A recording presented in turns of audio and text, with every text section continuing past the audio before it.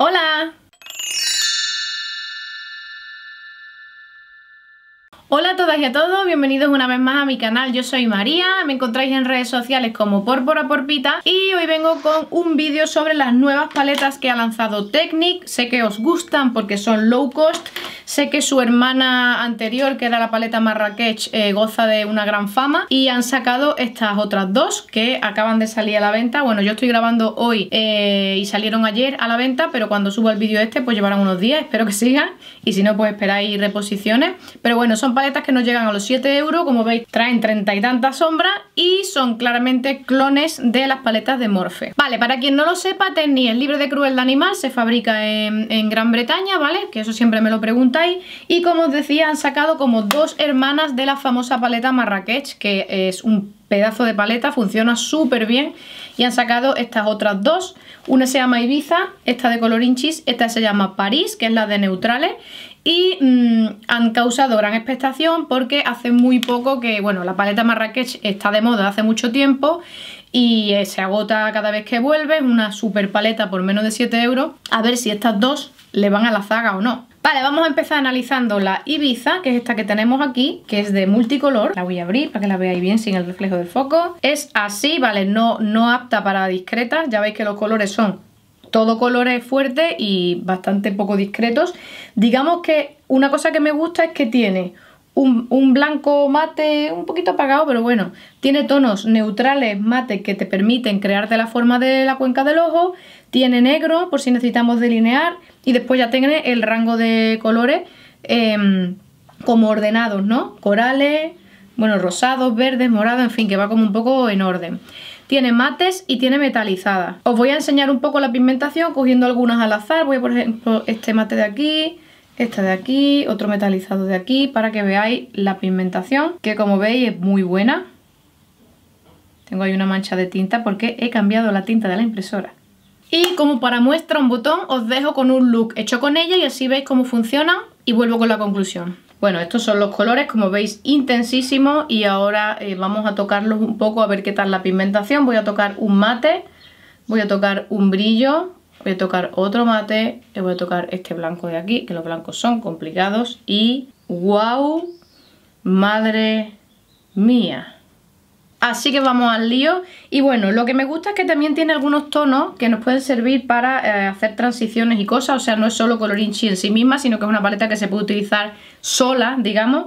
Así que lo primero que voy a hacer va a ser igualarme un poco el tono del párpado con el tono blanquecino de aquí para intentar que después los colores pues se difuminen mejor y eh, sobre un tono más claro sean más reales. Y me voy a atrever con verdes, que nunca me atrevo con verdes. Así que voy a coger primero este último de aquí para empezar a marcarme la forma de mi cuenca de mi ojo. Y voy a empezar poniendo producto justamente por donde mi pliegue termina y se une con el párpado fijo. Lo voy a poner muy difuminado, ¿vale? Porque este es como el principio. Bueno, ya estáis viendo que deja muchísimo color, casi solamente con apoyar y que además me permite difuminarlo muchísimo. Y ahora voy a marcarme la cuenca de mi ojo con este otro verde que hay aquí, que ¡Ah! Me acabo de romper la manicura. No, no me la he roto. Qué bonita. Qué manicura más buena. He cogido la mano con las tapaderas de la... En fin, voy a coger el verde oscuro para hacerme un poquito la esquina. Curiosamente, este oscuro me parece más vivo que el anterior, que lo vemos oscuro. engaña después al ponerlo. Necesito algo más nude para ir integrando todo, así que voy a coger este tono de aquí para un poco difuminar los cortes hacia la ceja. No lo quiero hacer totalmente verde para que no sea muy monocromático, así que voy a coger eh, un moradito, porque los morados le van a los verdes que ni pintados. Voy a coger este de aquí, que es metalizado. Este.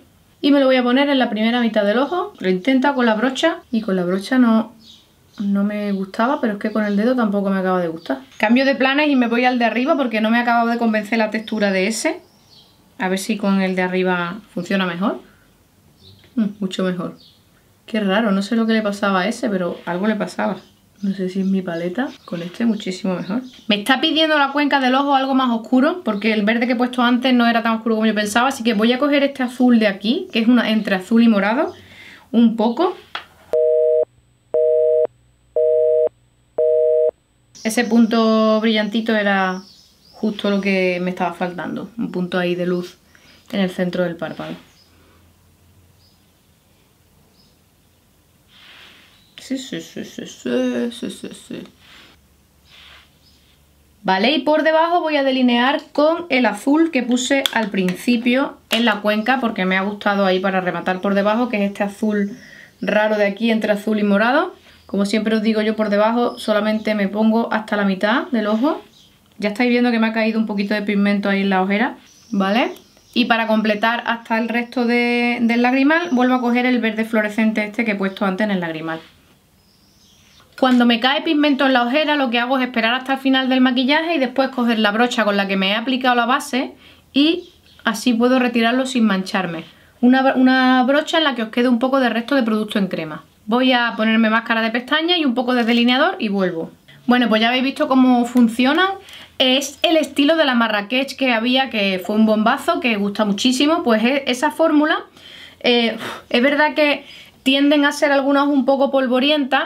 Yo, desde que sé un poco más de formulación de cosméticos, sé que mientras más se prensa una sombra, pierde un poquito en pigmentación, entonces por eso hay incluso marcas de alta gama que tienen paletas polvorientas.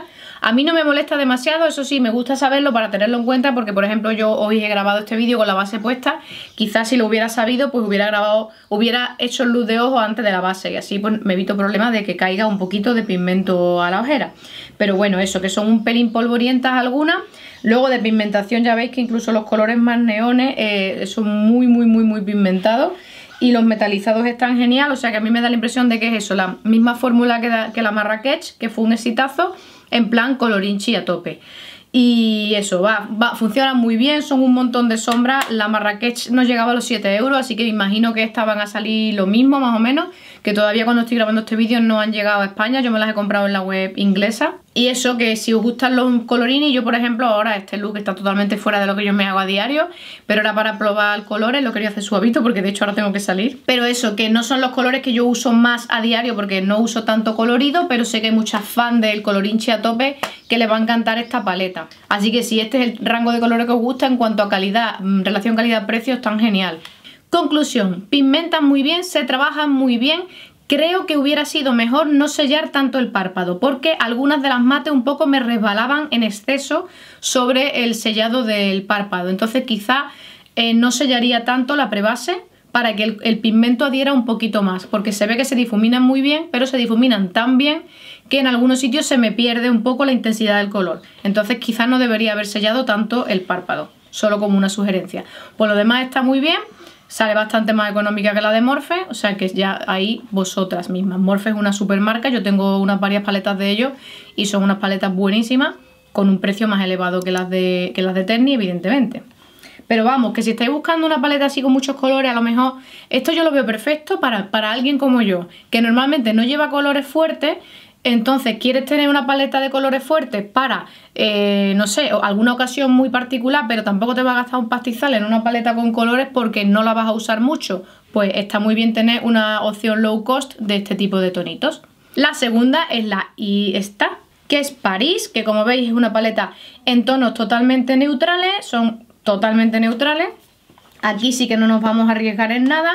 Para amantes de los neutros es perfecta porque ya veis que tiene todo tipo de, de subtonos, tiene unas partes más frías, estas zonas de aquí son más frías, tiene unas partes tirando a rojiza, que también es un tipo de ahumado diario que yo utilizo un montón, y tiene algunos más, más cálidos. Tiene algunas muy bonitas, por ejemplo este marrón de aquí es tipo Galápagos de, de NARS, es una sombra marrón con destello dorado, Después tenemos esta que también se parece a una de MAC muy famosa que no recuerdo el nombre, que es coral con un poquito de reflejo dorado.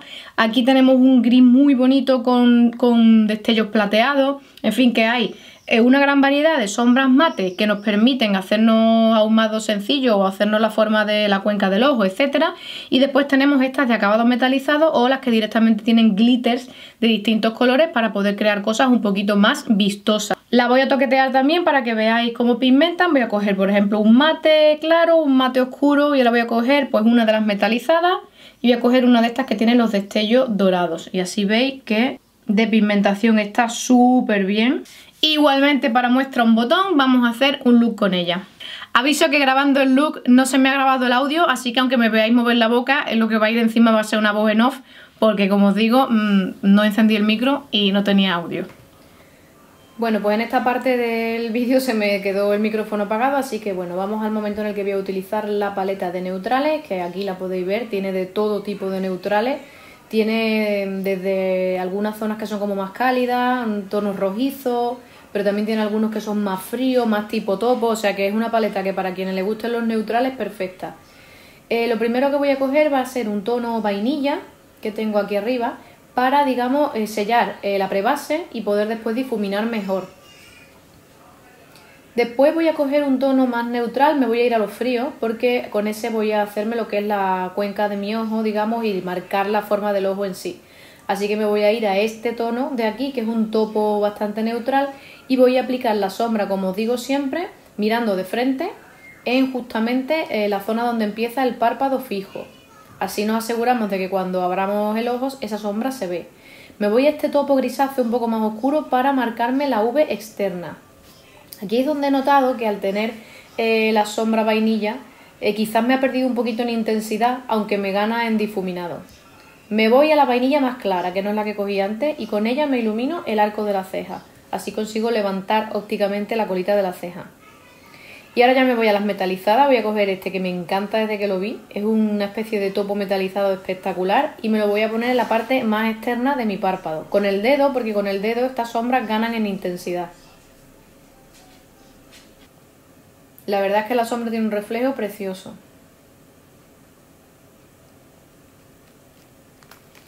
A continuación voy a coger otra sombra metalizada, en esta ocasión voy a coger eh, un tono que tengo aquí que es como una especie de rosado grisáceo, es muy curioso, la verdad es que es muy bonito.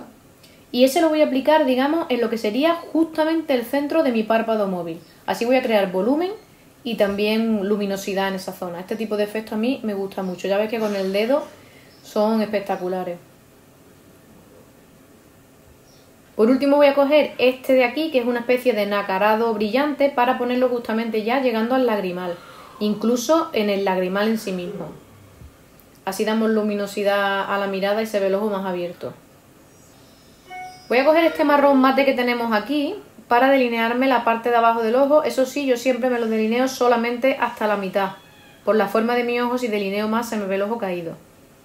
Y con la misma sombra marrón oscurita Voy a terminar ese triangulito ahí para intensificar la línea de pestañas.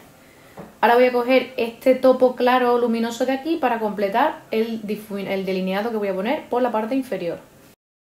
Me he aplicado máscara de pestañas que he utilizado de Maybelline. Esta, la de Colossal Big Shot, que venía en una guapa box.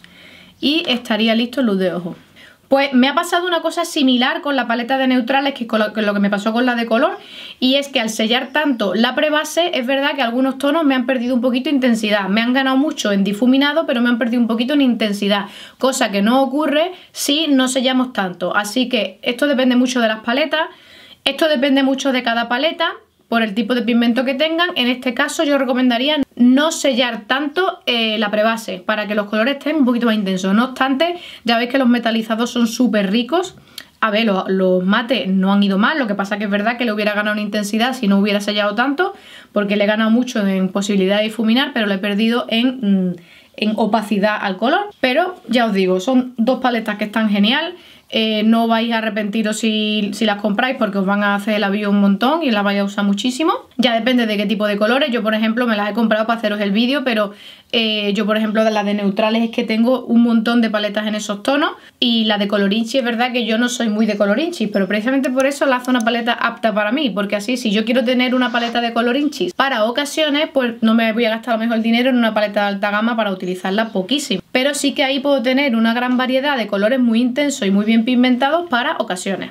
Os las dejo linkeadas en la cajita de información, espero que queden porque sé que estas cosas vuelan porque había mucha expectación. Y como siempre os dejo por aquí mi último vídeo por si no lo visteis y por aquí debajo el enlace para que os suscribáis al canal y os quedéis conmigo. Y yo como siempre os recuerdo que no perdáis nunca de vista vuestra estrella y nos vemos en el próximo vídeo. ¡Chao!